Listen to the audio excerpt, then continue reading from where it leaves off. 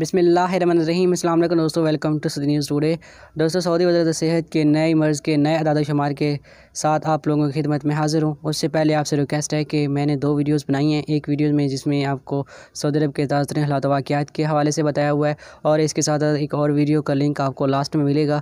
اس میں میں نے آج خادم الحرمین صرفین کی طرف سے ایک نیا اعلان تین جو سٹیز ہیں ان کے لیے، تین شہروں کے لیے کیا گیا ہے، مدینہ، مکہ اور ریاض کے لیے۔ تو وہ دونوں ویڈیو بہت امپورٹنٹ ہونی ہے بہت اس میں انفارمیشن ہے۔ تو آپ نے ویڈیو کے آخر میں جا کے، اب جب یہ ویڈیو کمپلیٹ ہو جائے تو آپ نے ان دونوں ویڈیو کو ضرور دیکھ لینا ہے۔ اس میں آپ کو بہت ساری انفارمیشن ملنے والی ہے۔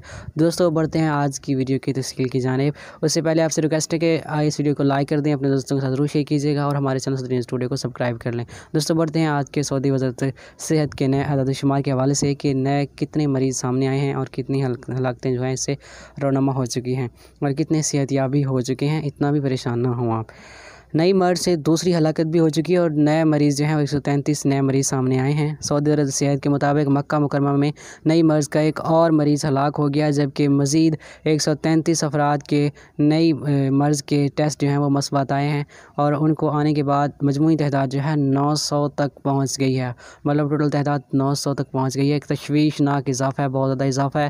تو آنے والے دنوں میں کیا ہوتا ہے؟ وہ تو حالات اللہ کو ہی پتہ ہے کہ آنے والے دنوں میں کیا حالات ہونے والے ہیں۔ وزارت صحت کے مرکزی ترجمان ڈاکٹر محمد علی کی پریس کانفرنس کے حوالے سے سبق ویب سائٹ کا کہنا ہے کہ سعودی عرب میں نئی مرض کے بچاؤ کے لیے تمام احتیاطی تدابیر اپنائی گئی ہیں۔ اب تک نئی مرض کے انتیس مریض صحت یابی ہو چکے ہیں۔ وزارت صحت کی جانب سے شہریوں اور ممکلت میں مقیم غیر ملکیوں کو ہدایت جاری کی گئی ہیں کہ وہ زیادہ سے زیادہ وقت گھروں میں رہیں۔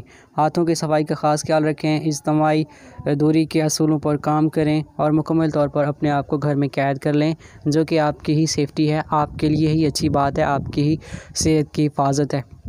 اور دوستوں پریشان ہونے کی ضرورت نہیں ہے، جو دوسرا بندہ ہلاک ہوا ہے، جو اس بیماری کی وجہ سے لقمہ جل ہوا ہے وہ اس وجہ سے ہوا ہے، اس کی جو عمر تھی وہ چالیس برس تھی۔ مطلب وہ بھی کافی ایج کا تھا۔ تو اس حوالے سے آپ زیادہ پریشان نہ ہوں۔ زیادہ عمر اور کم عمر والوں کو یہ زیادہ متاثر کر رہی ہے اور زیادہ ہلاک ہونے والے زیادہ عمر کے ہیں یا پھر کم عمر کے ہیں۔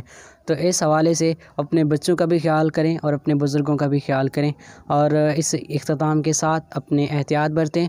اور دوستو، اس ویڈیو کا اختتام کرتے ہیں۔ ملتے ہیں اگلی ویڈیو میں۔ تب تک اپنا خیال رکھیے اور اپنی بہت ساری دعاؤں میں ہمیں یاد رکھیے۔ اللہ حافظ۔